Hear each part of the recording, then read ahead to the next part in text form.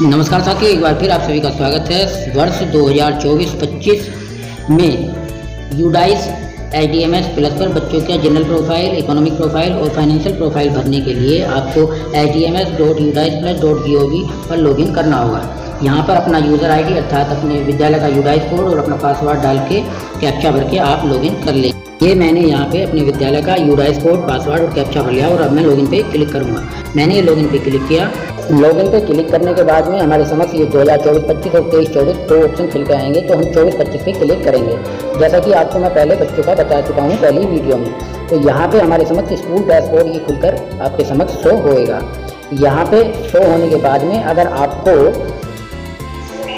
हिंदी में अगर कार्य करना है तो आप सबसे ऊपर जो पेज है, ये ऊपर बड़ी लाइनें जो हैं, इन पर क्लिक करेंगे। और जैसे ही यहाँ पे बड़ी लाइनों पर क्लिक करेंगे तो आपको ये लैंग्वेज का ऑप्शन यहाँ पे शो होएगा।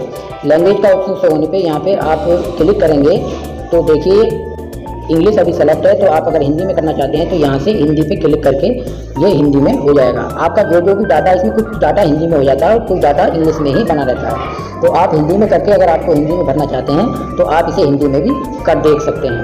वरना मुझे क्योंकि इंग्लिश में आसानी लगती है तो मैं इसीलिए इस डाटा को इंग्लिश में ही भरता हूँ। तो मैं इसे वापस इंग्लिश में कर लेता हूँ।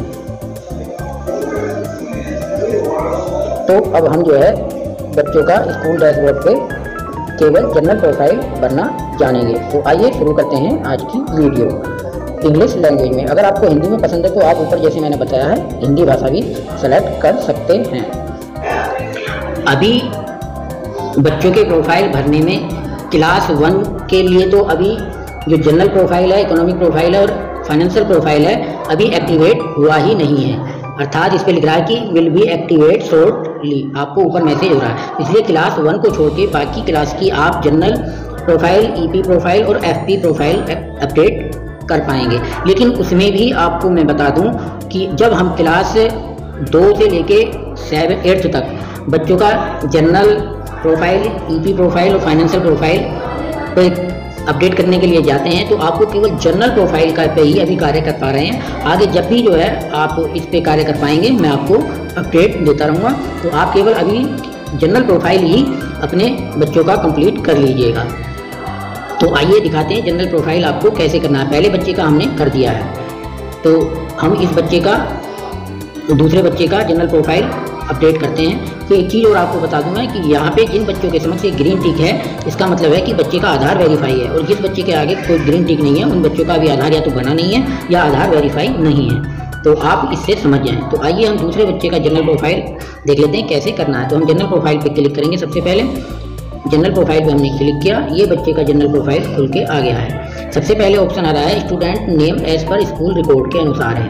यहाँ पे उसके बच्चे का नाम की स्पेलिंग यहाँ पे डेट ऑफ़ बर्थ एज यहाँ पे सो हो रही है एज मैट्रिक्स के अनुसार। यहाँ पे उसकी डेट ऑफ़ बर्थ है, फिर मदर्स नेम गार्जियन नेम ये ऑटोमेटिक आपको प्रेरणा पोर्टल से इन्होंने इंपोर्ट कर लिया है डाटा और ये यहाँ से भरा भराया आपको मिल रहा है। आधार नंबर आ गया बच्चे का, यहाँ पे एड्रेस है पिन कोड है और अल्टरनेट मोबाइल नंबर आप यहाँ पे भर सकते हैं, कोई दूसरा मोबाइल नंबर डालते हैं और नहीं भरेंगे तो भी आपका ये चलेगा। फिर हम मदर टंग मातृभाषा आपकी यहाँ ऑटोमेटिक पहले से भर चुके हैं आप, आएगी। माइनॉरिटी ग्रुप में है तो नॉट एप्लीकेबल आ रहा है क्योंकि माइनॉरिटी में नहीं है। फिर है वेदर एनी अंत्योदय योजना के अंतर्गत आता है यस या नो आपको यहाँ पे भर सकते हैं कि बच्चा अंत्योदय में है या नहीं है। अगर यस करेंगे यहाँ पे तो अगर आपने ये डाटा प्रीफिल्ड पहले से कोरोना पोर्टल से है तो आप यहाँ पे कोई भी भर नहीं पाएँगे। तो यहाँ से कुछ भी डाटा भरने की ज़रूरत आपको नहीं है। जो डाटा है पहले से प्रीफिल्ड है, इन्होंने प्रेरणा पोर्टल से यहाँ पे कर लिया है। कुछ चीज़ें हैं जो यहाँ से आप अपडेट कर सकते हैं, जैसे ब्लड ग्रुप है। ब्लड ग्रुप आप यहाँ से यहाँ से इसका अपडेट कर सकते हैं। बाकी जो कॉलम एक्टिवेट नहीं है उन पर कुछ भी करने से आपको नहीं होगा। Is the student identified out of school yes या नो यहाँ पे नो पहले से है। आप अगर इसे यस करेंगे तो ये चेंज हो जाएगा। लेकिन इसे नो था तो नो ही रहने दीजिए। फिर बाकी चीज़ें इधर हैं। कि जेंडर फीमेल है। स्टूडेंट स्टेट कोड ऑप्शनल अगर आपके पास स्टेट कोड है तो वो यहाँ पे भर सकते हैं। पिता का नाम name of student as per Aadhaar card यहाँ पे आधार के अनुसार नाम आ रहा है, ये भी इन्होंने जो है वहाँ से प्रेरणा पोर्टल से रिपोर्ट कर लिया। है नीचे मोबाइल नंबर शो हो रहा है पेरेंट का, फिर कॉन्टैक्ट ईमेल आईडी आप यहाँ से अपडेट कर सकते हैं अगर भरना चाहते हैं तो। तो यहाँ पे क्लिक करके आप ईमेल आईडी भर सकते हैं। अगर नहीं है तो आप चल जाएगा, यहाँ पे कोई प्रॉब्लम नहीं आएगी।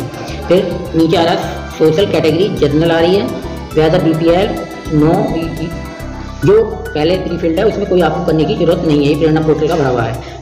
ये ऑप्शन है टाइप ऑफ़ इम्पेयरमेंट अर्थात विकलांगता का प्रकार। अगर बच्चा विकलांग है, तभी आपको ये एक्टिवेट होगा, वरना एक्टिवेट नहीं होगा। फिर whether the student Indian national ये सारा है और when the student is mainstream अगर बच्चा आउट ऑफ़ स्कूल था तो तो ये कॉलम आपका एक्टिवेट होगा, वरना ये एक्टिवेट नहीं होगा। उसके बाद आपको ये अपडेट वाला ऑप्शन पे क्लिक कर देना है। तो इस तरह से बच्चे की जनरल प्रोफ़ाइल जो है, ये एक्टिवेट हो जाएगी। ये सक्सेसफुली आ गया, यहाँ पे क्लोज पे क्लिक कर देंगे। हमने यहाँ पे क्लोज पे किया क्लिक इस तरह से ये बच्चे की जनरल फ़ाइल अपडेट हो गया और बाद में भी ये अभी एक्टिवेट रहेगा अपडेट का ऑप्शन अगर और बदलना चाहते हैं तो कुछ बदल सकते हैं। अगर हम वापस जाके देखते हैं स्कूल डैशबोर्ड पे तो स्कूल डैशबोर्ड पे अब हमें ये जो क्लास दो के जो बच्चे हैं, सात, इनमें से हमने दो बच्चों की जनरल प्रोफ़ाइल अपडेट कर दिए तो व्यू मैनेज पे क्लिक करके देखेंगे। यहाँ पे व्यू और मैनेज पे हमने क्लिक किया। तो अब हमें जो है पहले दो जो बच्चे हैं हमारे, इन दोनों बच्चों की जनरल प्रोफ़ाइल ग्रीन हो गई है और ये कार्य इन दोनों का इन प्रोग्रेस शो होने लगा है। तो इस तरह से जनरल प्रोफ़ाइल हमारी इन दोनों बच्चों की कंप्लीट हो गई है। अगर हम इन बच्चों की अब इकोनॉमिक प्रोफ़ाइल पे क्लिक करते हैं तो इकोनॉमिक प्रोफ़ाइल अभी जो है डाइस आई पर एक्टिवेट नहीं हुई है, इस पर अपडेट का ऑप्शन नहीं है। तो इसलिए अभी जो है, आप इसे फिलअप नहीं कर पाएँगे। तो आप अभी जो है, अपने सभी बच्चों की जनरल प्रोफ़ाइल कंप्लीट कर लें। तो इस वीडियो में इतना ही बता रहा हूँ। आगे जैसे ही आगे के कार्य अपडेट होगा, अर्थात एक्टिवेट होगा, मैं आपको एक नई वीडियो प्रस्तुत करूँगा। तो हमारे साथ बने रहें चैनल को सब्सक्राइब कर लें और बेल आइकन को भी क्लिक कर लें ताकि आपको नोटिफिकेशन उन वीडियो का मिल जाए। तो इस वीडियो में इतना ही, हमारे साथ बने रहने के लिए आप सभी का धन्यवाद। फिर मिलते हैं एक नई वीडियो के साथ, तब तक के लिए नमस्कार।